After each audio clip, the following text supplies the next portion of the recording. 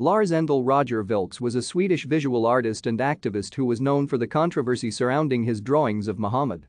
He also created the sculptures, Nimis, and Arx, made of driftwood and rock, respectively. The area where the sculptures are located was proclaimed by Vilks as an independent country, Ladonia. Vilks was born in Helsingborg, Sweden. His father Eino Vilks was Estonian of Latvian descent and mother was Swedish. He earned his doctoral degree in art history from Lund University in 1987 and worked at the Oslo National Academy of the Arts from 1988 to 1997.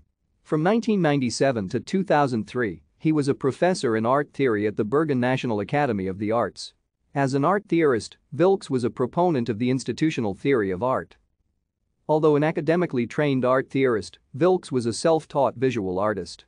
In the 1970s, he started painting and in 1984, he embarked on creating the idiosyncratic sculptures that are his hallmark, starting with Nimis. At this time, in the early 1980s, postmodernism made its definite entry into the Swedish art scene, using inspiration from E.g. Thank you for watching. Like and subscribe if you would like to view more of our videos. Have a nice day.